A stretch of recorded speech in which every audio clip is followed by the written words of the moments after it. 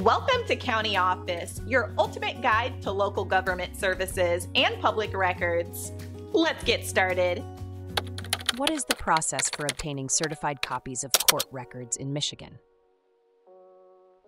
To obtain certified copies of court records in Michigan, you need to follow a specific process that varies slightly depending on the type of record and the court or office you are dealing with. Identifying the record. First, you need to identify the specific case number or party name associated with the record you are seeking. This information is crucial for submitting your request. Submission methods. You can submit your request in various ways in person at the court or clerk's office, by mail, which requires including the proper form, fees, and identification, by email or fax, though this may not be available for all types of requests. Fees and payment. The fees for certified copies can vary.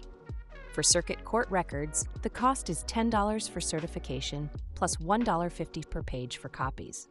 For district court records, it may be $10 for certification plus 1 per page for copies.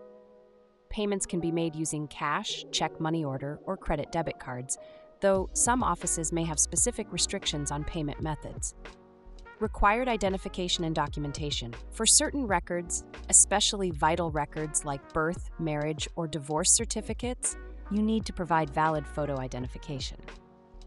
Additional documentation may be required if you are an heir, legal guardian, or legal representative of the person named on the record. Processing and delivery. Certified copies cannot be emailed or faxed due to the need for an embossed seal. You can either pick them up in person or have them mailed to you by providing a self addressed, postage prepaid envelope.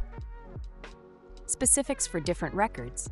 For vital records, birth, death, marriage, divorce, the process is governed by Michigan statutes. For example, birth records less than 100 years old are only available to specific individuals like the person named, parents, or legal guardians. For court records, the court may provide up to five copies within an hour for a fee, with additional copies requiring more time based on the complexity of the request.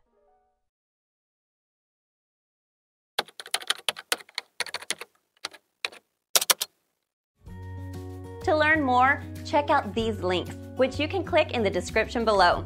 And feel free to comment your questions. We're here to help. Thanks for tuning in to our video. Please like and subscribe and leave a comment below. See you in the next video.